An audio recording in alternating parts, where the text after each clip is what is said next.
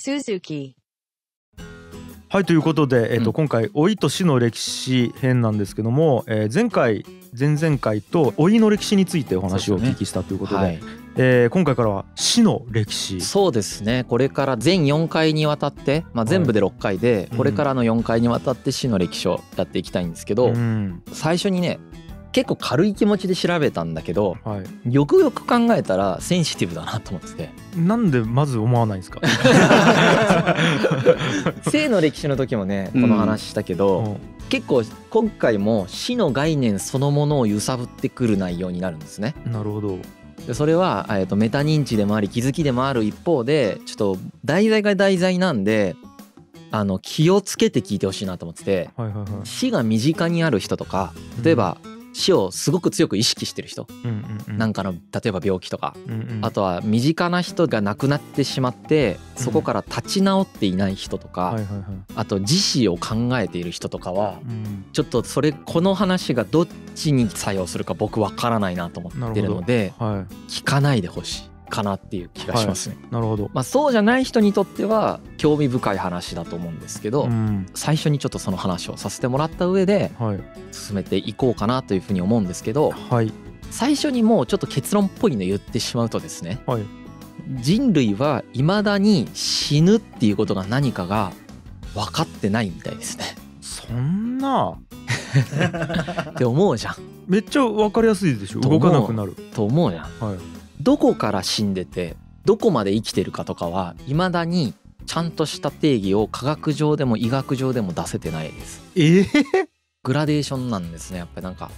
急にこっから死んでこっから一致じゃなくてっていうのがあるわけじゃなくて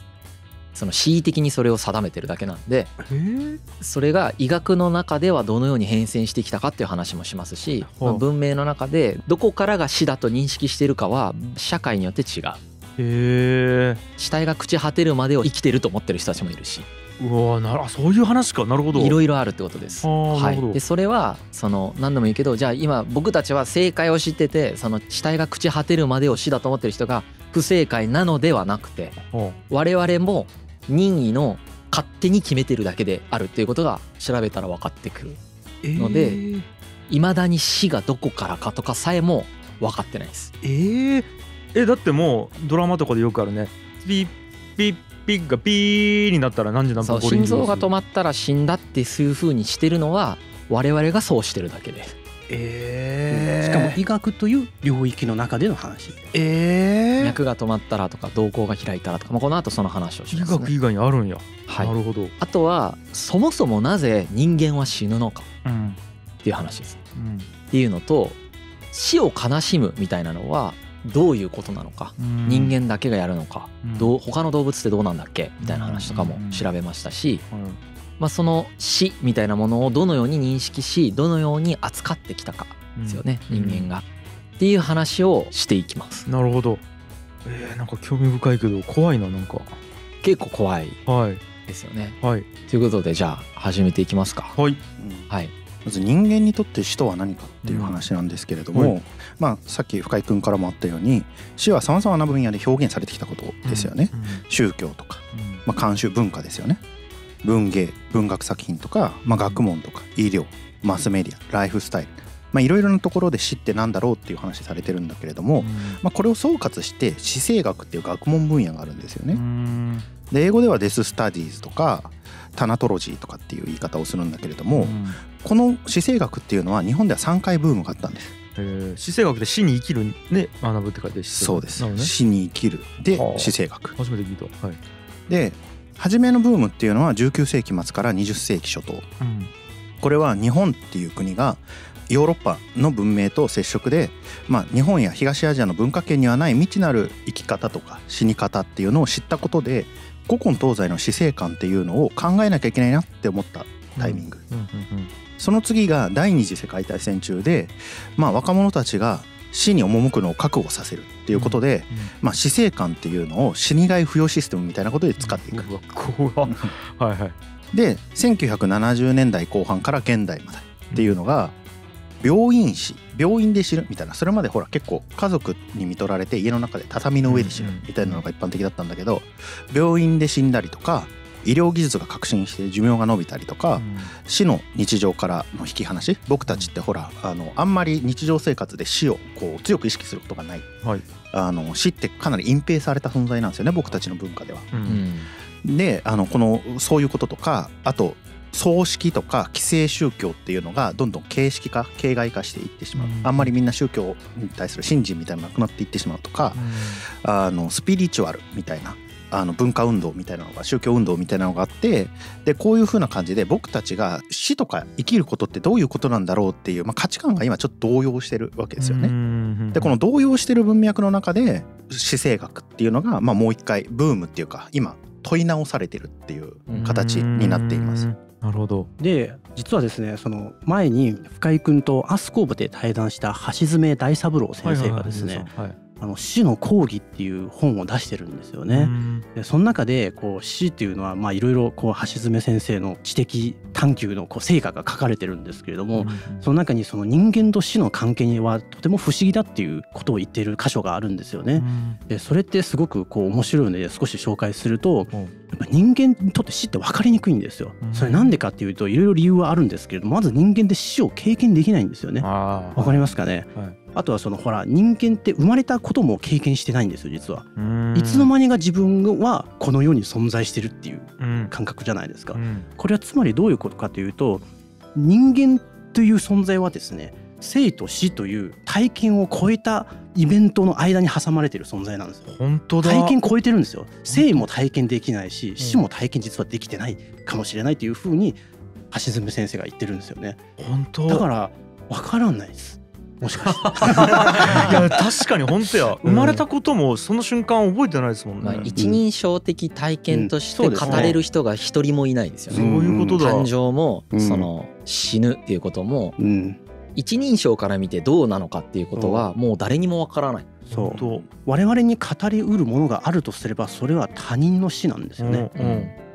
自分の死がどうかは全くわからない、うん。うん。うん。うんっていうことが橋爪先生言っててそうだな、うん、僕も思ったね、まあ、だから C が難しいっていう話なんですけどね、うん、で、まあ、難しいんだけどどの社会でも僕たち何が死ってあるかってことは一応決めないといけないんですよね、うん、物理的な現象として一応あるから。それをどうにかしなきゃいけないんで今僕たちが生きてるこの社会日本の21世紀の日本の社会でどうやってるかっていうと一応法律上何をもって死とみなすかってことが決めてあるんですよね。で日本ではお医者さん医師しか死亡を宣告できない。でお医者さんがどのようにして死亡を判定するかっていうと3兆候っていうのがあって、この3つの兆候をもって死と判定します。一つは呼吸の停止、もう一つは脈拍の停止、もう一つは瞳孔の拡大。これが起きるとこの人っていうのは亡くなったんだっていうことをお医者さんが判断することができる。でお医者さんの判断をもってその人が死んだということが法律上決まるっていうことになるんですよね。けどここで医療の発達によって思わぬ事態が出てくるんですよ。脳死ですよね。脳死は呼吸も止まってないし脈拍も止まってない。けど脳波は停止してるんですよね。どうやら脳は活動してないだろうということになる。この状態を死とみなすかみなさないかっていうことはディスカッションになっちゃうんですよね。なるほどなるほど。でこれが1968年にハーバード大学の医学部っていうのが特別委員会っていうのを設置してこれが死か死じゃないかみたいなものの見解を出すんですよね、医学的な見解を。うん、でこれは不可逆な昏睡っていうものを定義して、うん、まあ死とみなせるんじゃないかってことを言うわけです。うん、で死とみなせることによって体から臓器を取り出して移植するっていうことが可能になる。っていうことになります。つまり、まあ、僕たちが生きている社会でも何が死なのかっていうことはあんま確定されてない。なるほど。でこれはあのエンドの話をしてるんですけど、はい、その始まりの話も例えばその人工妊娠中絶の話があるんですよね。はいはいはい、でそうすると妊娠何週間目から人間って生きてるのかって、文化とか社会によって考え方が違うんですよ、ね、そそうだ、うん、そうすると何週間目の中絶を違法とすべきかどうかみたいなことが分かんないんですよね。そそうだ。けど決めなきゃいけないじゃないですか法律上で死生学っていう学問が重要になってくるんですよ。あなるほど。どういうふうに考えたらいいんだろう。これだからコントロールできるようになったから考えないといけないんですね。まあ社会状況の変化もあるんだけれども僕たちの社会っていうのは一応そこに回答を与えないといけなくて回答を与えなきゃいけないがために僕たち今責められてるっていう感じになるっていう感じかな。ですよね。でなんで回答が必要かっていうと脳死の状態でも生きさせることができるから。できるから。ですよね。なるほど。はいでちょっと話は変わるんですけど、はい、ではそもそも人間はなぜ死ぬのかっていう話をします。これ更科勲先生という方の「人はなぜ死ぬ運命にあるのか」っていう本を、まあ、主に参照させていただいて、あの面白いのは生き物っていずれ死ぬと思ってませんか？もうこれ哲学ですか？そんな領域になってきたの、はいはいはい、ねはい。更科先生によると生物の基本形態っていうのは不死らしいんですよ。ほうほうほう生物っていうのは大きく3つのグループに分けられるらしいんですよね。これは細菌と幻覚アーキアと真核生物。でこの3つの生物のうちあの僕たち哺乳類とかが属しているのは真核生物。はいはい。うん、でこの3つのグループっていうのは共通の祖先からおそらく分岐した生き物なんだけれどもこの中でまあそれぞれ戦略が違うっていう話なんですよね。で細菌とかっていうのは寿命がないんですよ。え死なないんですか？殺そうとすると死ぬんだけれども寿命で死ぬみたいなことがない。ほうほうほうほうほうつまりグループの中で一部の個体だけが死ぬっていう種類なんですよ。細菌とか幻覚アーキア。はいはいはい。けど僕たち哺乳類とかは全員死ぬじゃないですか。老衰死みたいなことがありますね。寿命があるので、はいはいはい、必ずこの次元爆弾がどこかのタイミングでは爆発するってことになってるんですよね、なので生物っていうのは大きく分けて一部の個体だけが死ぬっていう種類と、うん、全ての個体が必ず死ぬ種類つまり寿命を持つ種類の2種類いるうん。はいはいはい。わけなんですよね。で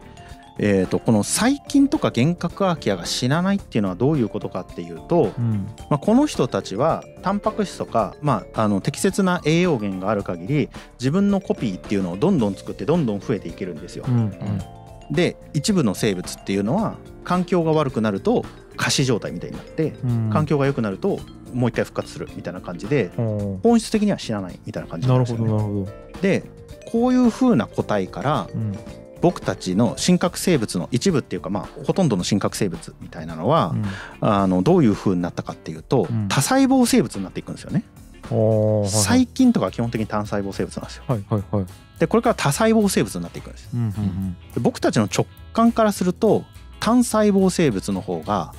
どんどん増えそうじゃないですか。そうコピーするだけでいいからね。そうそうそう一番初めのポイントって、うん細胞が2つある生き物と、細胞が1つしかない生き物と戦ったら、細胞が1つの方がどんどん増えていきそうじゃないですか。うんうん、確かに。けど実際には多細胞生物も生き残ってるんですよ、うんうん、僕たちとかになってるわけなんですよね。はいはい、でこれがなぜかっていう話なんですよね。はいはいはいはい、多細胞生物が最も不利なのは、うん、細胞の中に繁殖できない体細胞っていうのと、うん、繁殖するための細胞である生殖細胞っていう2種類に分かれちゃうからなんですよね。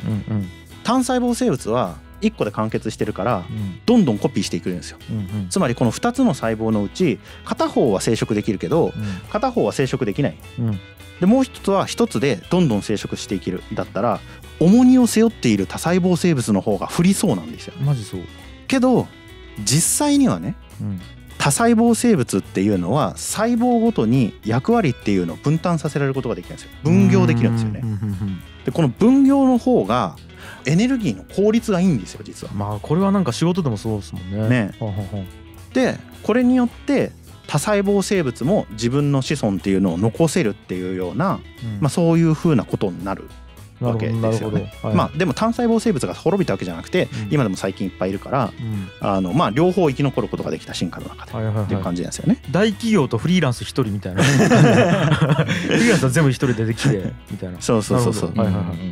でこの大企業の中に寿命を獲得して死ぬっていう種類っていうのが出てくるんですよね。でそもそもね、うん、この生き物と生き物じゃないものの違いっていうのはどの辺にあるのか、うん、つまり僕たち生き物だから不死じゃんとか言うけど、うん、石とかって石のまんまじゃないですか。はい、で細胞はずっと細胞じゃないですか、うんうんうん、一緒じゃんっていう話なんですよね。一緒っすね。これどこが違うのかっていう話があるんですよ。じゃあ俺は死んでるのか？死んでないんです。よどこが違うんやほんなら。どこが違うかっていうと、うん、樋口さんは、はい、樋口さんにエネルギーとかタンパク質とかっていうのがどんどん供給されてるんですよ。それがエネルギーを消費したりとか新陳代謝をしたりすることによって、うん、樋口さんとしての形っていうものは保存されているにもかかわらず、うん、樋口さんを構成する分子っていうのはどんどん変化してるんですよ、ね、はいはいはいわかりますわかります、うんこれあの最もシンプルな例だと、ガスコンロの火とかがそうなんですよ。はいはいはいはい。ガスコンロの火って形変わんないじゃないですか。うんうん、それって金属が形変わんないのと同じように見えるんだけど、うん、実は違って金属って分子が別にこう移動してないんだけれども、うん。うん、そのガスコンロの火はガスの分子っていうのがどんどんどんどん供給されてそれが炎として燃えることによって化学変化が起きることによってその形が変わらないように見える、うんうんうん、生物っていうのはこの形が変わらないように見えるものなんだっていう話なるほど。なんですよね。はいはい、ただこの鳴門大橋から見える渦潮とかもあるじゃないですか、はいはい、はい、あれも散逸構造なんですよね、はい、ずっとエネルギーが供給されてて、渦の形っていうのが変わらないように見える、うんうん、けど渦潮っていうのをずっと見ていると渦潮っていうのが生まれたりとかやっぱ消えたりとかするんですよね。一定の期間同じ形なんだけれども生まれたり消えたりする、うんうんうん、けどそこでこの渦っていうのがどのタイミングで渦と呼べるようになってどのタイミングで渦と呼べなくなるようになるのかって本当は分からないんですよね。グラデーションなんですよ、ね、まあ確かになんかふわっと始まってふわっと終わってるでしょうね。ね見てたら。生物のあり方も同じでグラデーションらしいんですよ。えっ、ー、とここで1個例を出すと、うんうん、ラムダファージっていうウイルスがいるんですよ、うんうんうん、ウイルスっていうのはまあ生物学では一般的に生物じゃないとみなされるんですよね、うんうんうん、なぜかっていうとラムダファージは細胞膜を持ってないからなんです。つまり散逸構造を構成する形っていうのを僕たち細胞膜として持ってるわけですよね。うんうん、でこれはエネルギーが供給されても大体その細胞の形っていうのは変わらないわけですよね。はいはいはい、けどウイルスは細胞膜を持ってない DNA の存在なので、うん。うん、化学物質の塊だとみなされるわけですよね。なるほど。でこの化学物質の塊っていうのが大腸菌に入って繁殖するっていうタイプのウイルスなんです、ラムダファージ。でラムダファージには2種類の増殖方法がある。一つの増殖方法っていうのは大腸菌の細胞膜の中にまず入り込むんですよ。うん、でこの大腸菌のタンパク質とかを使って、自分の DNA っていうのをどんどん複製するんですよね。つまりあの自分のウイルスっていうのをどんどん作ってで最終的に大腸菌の細胞膜を突き破ってバーって拡散する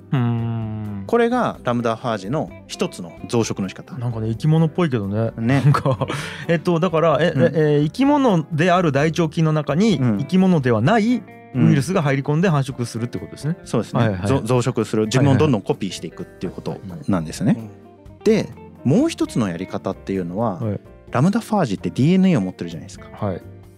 大腸菌の中に入り込んだ後に、うん、大腸菌の DNA の中に自分の DNA ごと潜り込むっていうことをやるんですよ。はいはいはい、で大腸菌っていうのはラムダファージの DNA ごと自分をコピーするわけですよね。生物だからね。生物だからね。うん、そうそうそう。その増殖する大腸菌には全部時限爆弾みたいにラムダファージが入っちゃってるんですよね。でこれがどういう時に起きるかっていうと、うん、大腸菌の存在が少ない時ラムダファージっていうのはこの戦略を取るらしいんですよね。あえだからえ選べるというか、まあ、どっちかになるってこと環境によってなんか規定されるらしいんですけど。なぜかっていうとさっきみたいな大腸菌を殺してしまうっていう戦略を取ると、大腸菌が少ないところでは全部殺してしまう恐れがあるから、それをしないように大腸菌ごと増えるっていうのをまずやるんですよね。で環境が安定してくると大腸菌の DNA から自分の DNA を切り出して、うん、でさっきと同じ大腸菌のタンパク質を使って増殖するっていうことをやるんです。そうするとこの2つ目の戦略を取ってる時のラムダファージの動きってすげえ生物っぽくないですか、いやそうだって細胞膜あるわけだから、で大腸菌ごと自分コピーしてるから、はい、細胞膜あって、はい、それって生物っぽくない？っていう話になるんですよ。はいはいはいはいはい1個目の増殖方法の時は確かに非生物かもなって感じだけど、はいはいはい、2個目の増殖方法の時は生物っぽいってなる。まあ、確かにそう言われると、うんはい、ここで DNA における表現系っていう考え方があるんですよね。はあはあ、で表現系って何かっていうと、うん、白いネズミの思考実験っていうのがあるんです。うん、黒いネズミっていうのは雪の原っぱの中で走れないですよね。目立ちすぎるから、はいはいはい、食べられちゃう、はいはい、そうするとある時体毛が白くなり雪原で行動できるように進化したネズミだけが雪原で行動できるようになるよね。はいはいはい、で雪原での行動とか白い体毛とかっていうのはこれは全部 DNA の変異の間接的な結果だよね。うんと間接的な結果、うん、つまり、う。ん、DNA の変異っていうのは、うん、DNA そのものが変化してそれが複製されてる時に変化が引き継がれてるんだけど、この DNA をもとにどのような体になるか、どのような行動をするかっていうことは、その DNA に書き込まれてるんだけど DNA そのものではないよねっていう話し方。はいはい。はいはいはい、つまり設計図があるよねと、うん、この設計図通りに作るとある建物ができますよねと、はいはいはい、でこの建物は設計図じゃないんだが設計図に基づいてるよねと、うん、これを設計図の表現形っていう言い方をするんですよ。なるほど。そうすると、うん、体毛が表現形なのはなんとなくわかるじゃないですか。うんうんうんけど生物学的にはどうもこの雪原で行動するみたいなのも DNA の表現系だと考えるらしいですよね。行動も？行動も。DNA によってそうしてますからね。うん。ってなるとビーバーっていう動物いるじゃないですか、はいはいはい、カナダとかに住んでる。で歯で木を切り倒してダムを作るっていう生物ですよね。うんうんうんであのダムってめちゃめちゃ巨大であの自然環境とかも変えちゃうぐらいの威力を持ったダムなんですけれども、このダムを作るっていうのはこのビーバーの延長された DNA の表現系なんじゃないかって考え方をするんです。ビーバーの DNA に基づいてダムっていうものが作られてるからなんだ。はいはいはい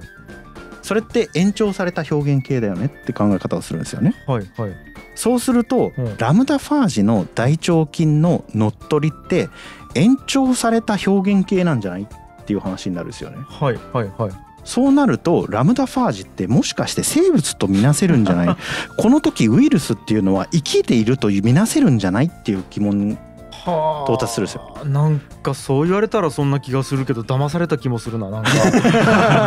でも確かにそうか、うん、だからグラデーションなんですよねその辺っていうのが。生物と無生物の間っていうのが、うん、まあ決めの問題になっちゃってんだよね、うん、本当は。これすごく直感に反するから分かりづらいと思うけど、生物と非生物っていう境界自体もグラデーションだったり例外とかがあったりして、その僕たちが細胞膜でこう区切られてるところの外が非生物で中が生物ですみたいな僕たちは言っているが、はい、そのように見なすみたいなのは僕たちがそう決めてるからでしかなくて、そこをどこまでを境界とするかみたいなのがよく分かんないやつとかを連れてくると確かによく分からんねっていうことが分かってくるわけですよね。ラムダファージュがそうですよね。大腸菌を含めて全部を含めてラムダファージュの可能性があるわけじゃないですか。そこまでいくと。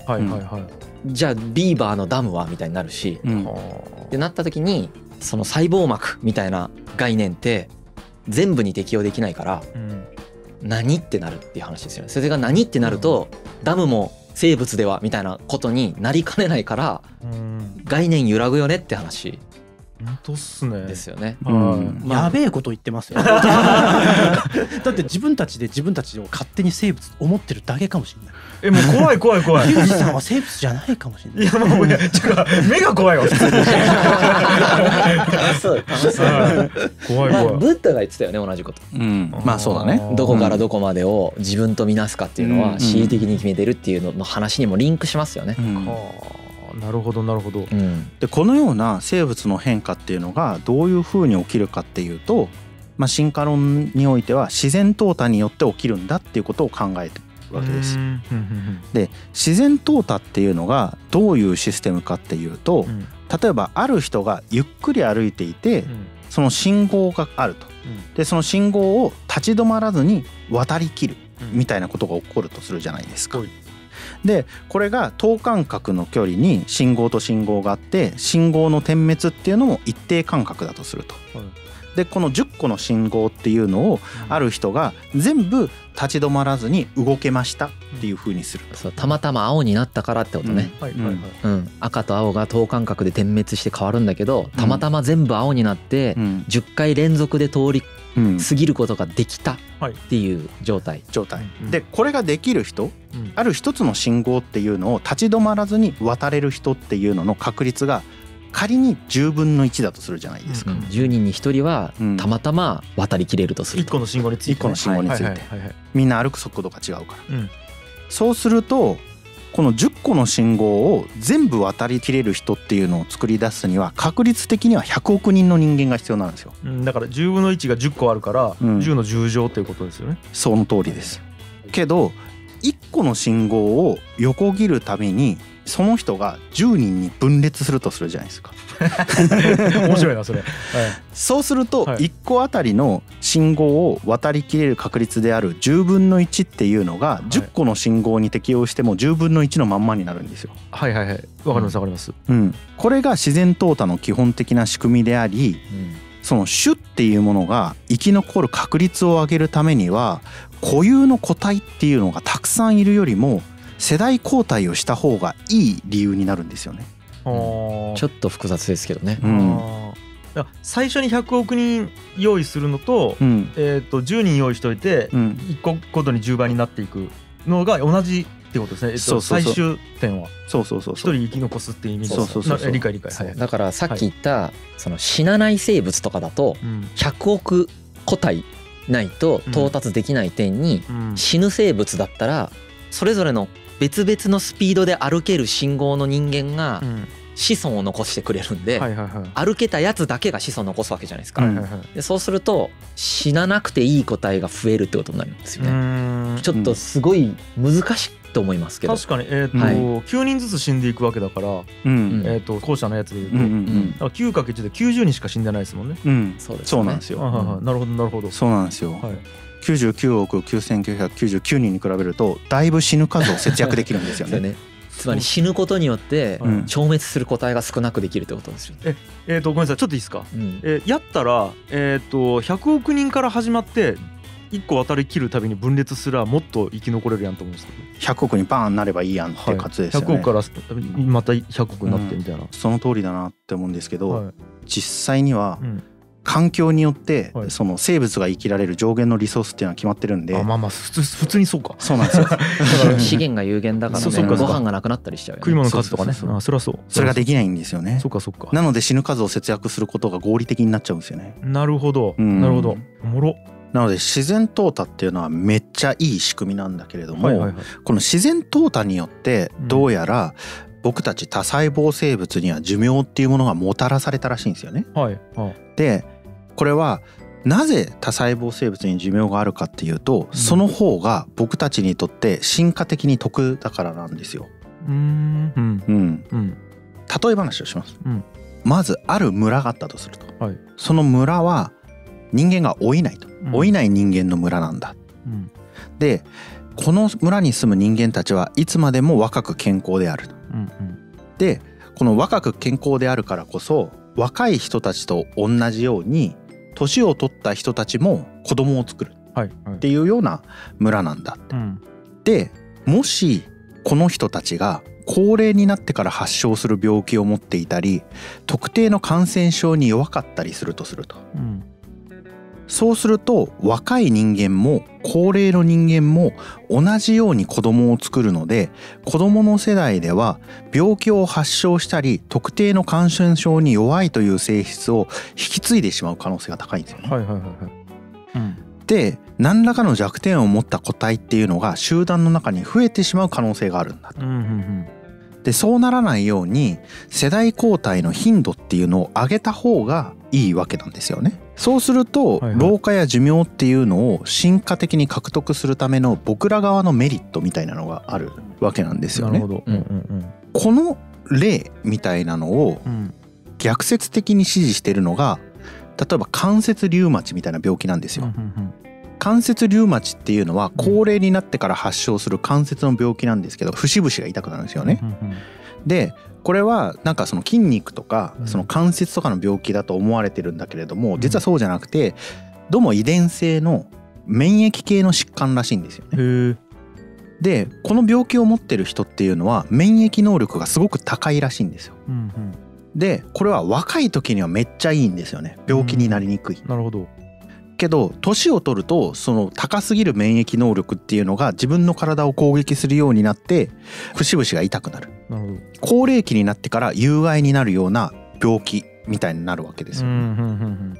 これが世代交代みたいなのを僕たちは寿命があるから、その病気の発見みたいなのができなくて、その若い時の免疫能力が高いみたいなののメリットみたいなのを取ったことによって関節リウマチっていうのは僕たちの体の中に残り続けるみたいなことが起きるんですなるほどなるほどなるほど。うん。スタートダッシュが速いけど後半バテる馬みたいなやつしか残らないみたいな。そうそうそうそう。もっと言うと、その生殖に関係ないからですよね、うん、関節リウマチっていう病気が生殖活動にあんまり関係ない形で発症するという特性を持っているので、自然淘汰上で淘汰されないって話です、なるほどなるほど、はい、はいはいはいただここで言ってるのはあくまでその生物学的なこの話でその社会的にこういう寿命を人間死ぬべきにちゃんと死んだ方がいいっていうふうにそれが良しとするっていうのはまた別の話ですからね。まあそうですね。そうですね。念のためにね。そうで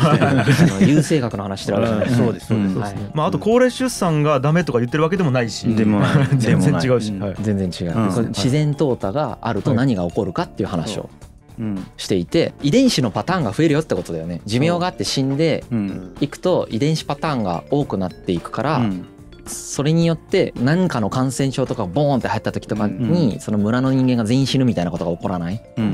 けど僕たちがなんかいつまでもなんか不死でずっと自分の50%の DNA を持った個体を生み出し続けてるみたいなことをすると、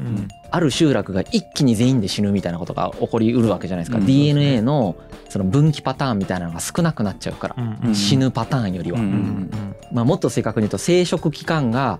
短いパターンより長いパターンの方が自分の 50%DNA を持ってる人たちが多いから、そういう確率が増えちゃうよねって話をしてる。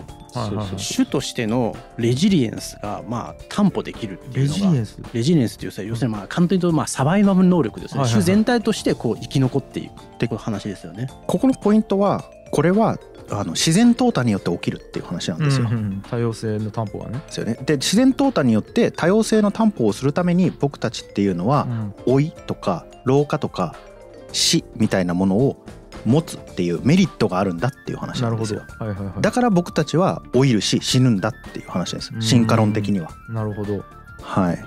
自然淘汰ってシステムがうまく機能するためには、うん、寿命があって死んだ方がいいってことですね。えっ、と逆ですね。自然淘汰というシステムは自然界に存在するんですよ。はい。はい。はい、その結果として僕たちの種っていうのは死とか老いとかっていう方があった方が種として存続できたってなるほど、はい、さっきの信号を渡れた人たちがそっちだったって話ね。はい。はい、うんその人たちが10人に分裂とかしてるから、うん、僕たちはみんな老いるし死ぬっていう性質を持ってるってことです。そうそうそうそう。なるほどわかりました。老いるし死ぬ人たちばっかりが信号を渡れてる状態ってことだよね。その人たちの子孫だから僕たちがね。うんうん、まあそうじゃない人たちもいるんだけどその人たちは細菌とか幻覚空き家なんだっていう話なんですよ。そういうことです。理解です理解です。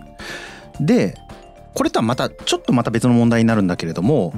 ほら初めに陽くんが鮭の話とかしてたじゃないですか、はいはい、生き物の多くって生殖活動をしたら死ぬみたいな人が結構いるんですよね。うんうん。けど人って違うんですよ、うん、人って生殖活動が終わってからも結構長生きする生き物なんですよね。はいはい、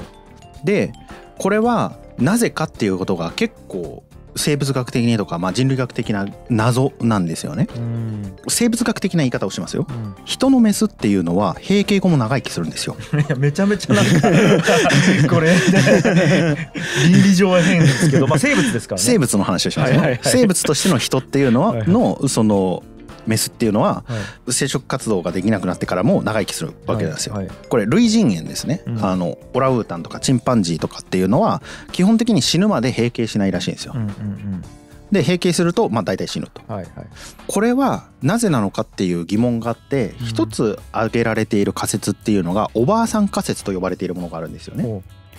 で、えー、とこれ古典の中で子育てについての調査もしていてそっちの文脈でも結構出てくる話なんだけれども、うん、おばあさんが子育てに協力することで子供や孫の生存確率が上がるって言ってこれをおばあさん仮説っていう。つまりおばあさんが孫の面倒を見るからいいよねっていう話なんですよね。だからその閉経後も長生きする理由があると。で実際におばあさんがいた場合っていうのは乳幼児の死亡率が統計的に下がるらしいんですよね。で祖父の存在は影響しないらしいんです。えあそこ差があるんや。はい。ただこの仮説の妥当性を示すにはおばあさんが自分の子供を増やすことよりも自分の孫を生き延びさせることにインセンティブがないといけないんですよね。さっきの自然淘汰の話なんですよね、うん、おばあさんの子供っていうのは自分の DNA を50%持った人たちなんですよね、うん。うん、けど孫っていうのは25%しか持ってない人たちなんですよ、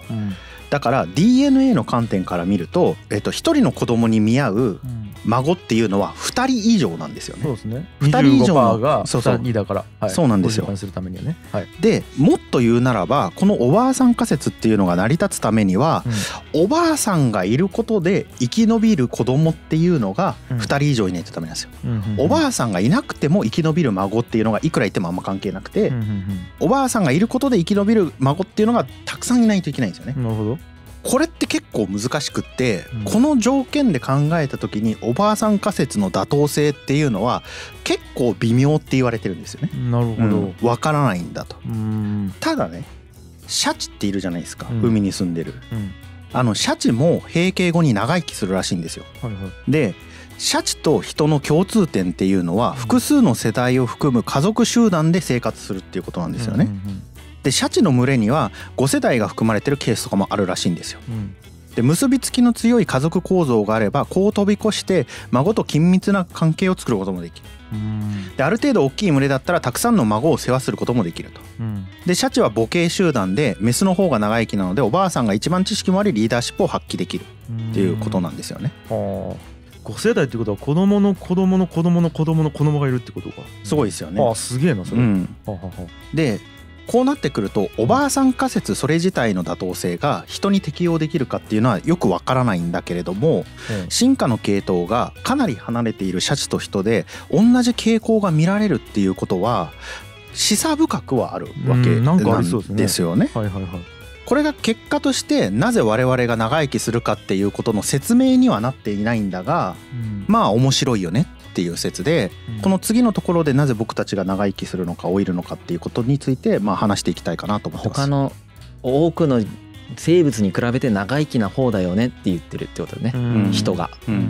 ん、確かにそうですよね。うんで閉経後もなんで生きるのかということ、そうそうそうなるほど。まあそれ分かってないってことだよ今の話は、うん。なんかあるんだろうなってことですよね、そうそうそうまあ祖母がいた場合の乳幼児死亡率下がるのとか社会性の方がでかそうだもんね。なるほど。まあ結構広く言われてる説ではあるんですよね、あっちこっちで目にする説なんだけど妥当性は疑問っていう感じ、はい。なるほどはい、はい、いやということで、えー、今日はこんな感じですかね。はい。と、死の歴史、えー、1番目でございました。ありがとうございました。はい、ありがとうございます。G、カイエ、スズク